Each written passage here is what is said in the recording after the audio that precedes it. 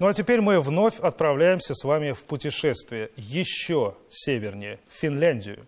Предмет для нашего путешествия будет не новогодним, как может показаться, а вполне серьезным и аналитическим. Финляндия. Кто живет в Финляндии? Конечно, финны.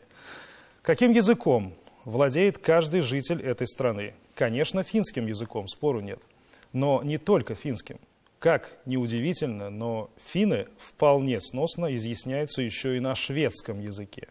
Зачем он им? Вот об этом мы поговорим сегодня.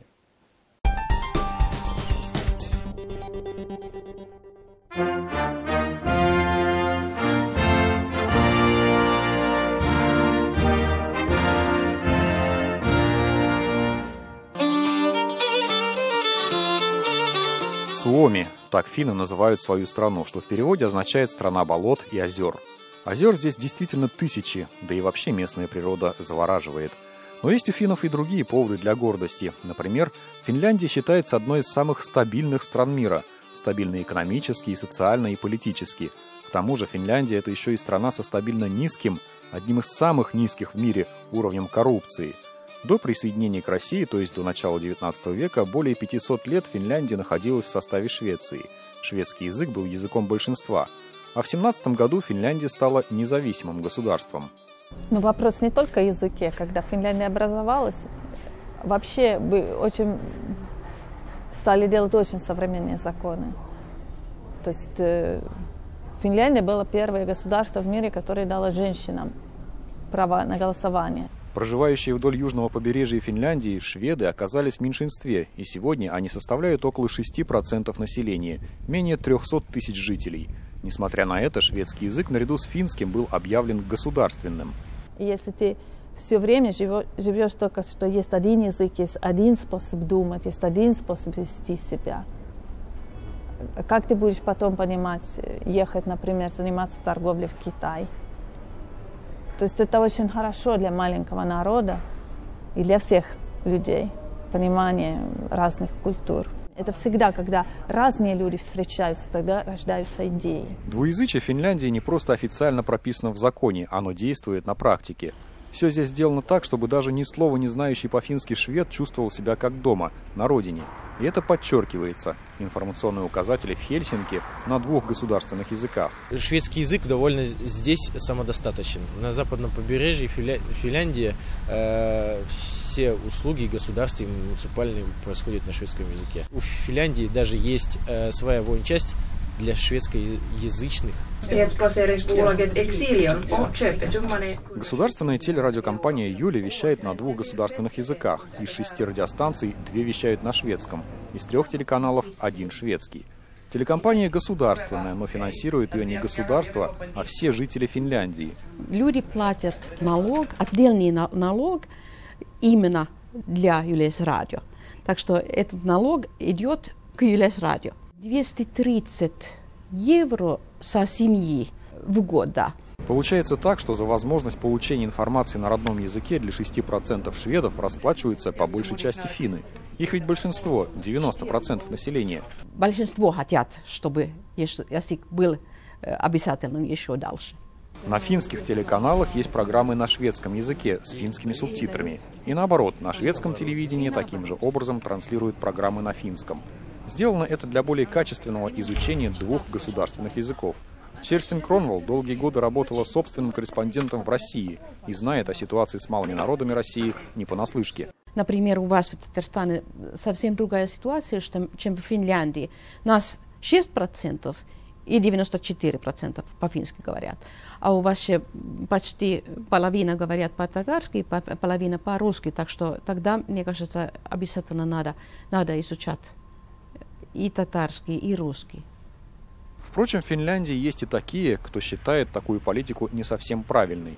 Логика такая. Государство финское, значит, должен быть один государственный язык. Мы учили шведский язык, и к нему относились крайне негативно. И это презиралось в открытом виде, когда ты учил шведский язык э, с некоторой отдачей. Мне вообще этот язык как особо как таковой не нужен. Вроде бы под боком большой брат Россия. Почему русский не учить?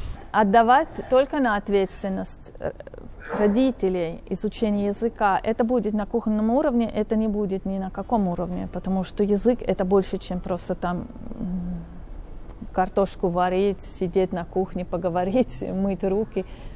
Ну, то, что мы говорим обычно своим детям. Во всех школах финский и шведский языки являются обязательными предметами. Отказаться от шведского языка никак нельзя. В начальных классах дети учатся на родном языке.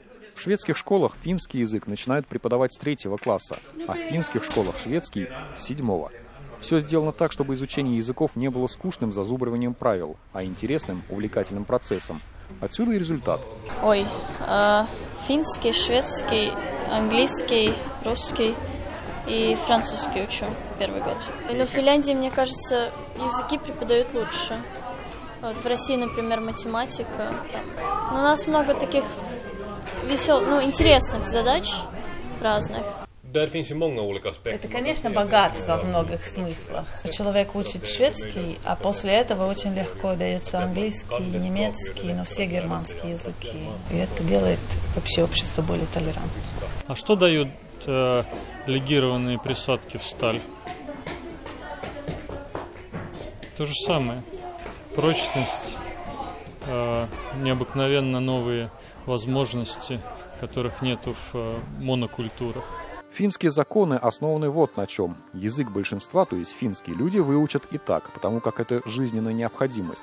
Поэтому государство все свои усилия направляет на сохранение языка меньшинства, в данном случае шведского. Есть специальный орган – фолктинг, то есть Народная ассамблея. Это государственный орган, задачей которого является развитие и сохранение шведского языка.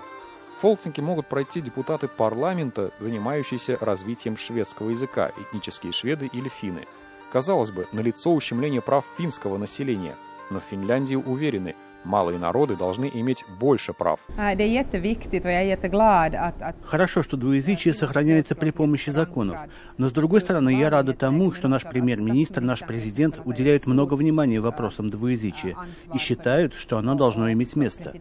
На сегодня обстановка такая, что большинство относятся положительно к двуязычию. Фолктинг дает свое заключение по тем или иным законам, ущемляют ли они права шведского народа или нет. Например, не так давно парламент разработал законопроект об объединении двух регионов для улучшения управления и экономии. Но Фолктинг дал отрицательное заключение. В результате объединения двух регионов в новом образовании шведы оказались бы в меньшинстве. В итоге законопроект не был принят. В Финляндии наилучшая в мире защищенность языков малых народов. Это, можно сказать, уникальное явление. Впрочем, шведский язык защищает не только государство. Прекрасно владеющая и английским, и финскими языками Анна заявила нам перед интервью, что говорить она будет только на шведском, и нам пришлось найти переводчика с шведского языка. Таким образом, шведское меньшинство заявляет, что в Финляндии существуют и шведы тоже. Если хочешь, чтобы человек учил твой язык, ты должен как-то это делать приятно для этих людей. То есть не просто сказать, что вы должны этот язык знать, потому что вы там должны обслуживать меня или говорить со мной. Шведский язык, эти всю Скандинавию, весь этот мир открывается через этот язык. А, например, ну, татарский язык, это почему это интересно? Ну, конечно, татарская культура, но еще это же открывает целый такой мир, там, узбекский, а, турецкий. Это очень полезно. Зуфар Давлетшин, Рамис Латыпов, Михаил Кусов. «Семь дней. Финляндия».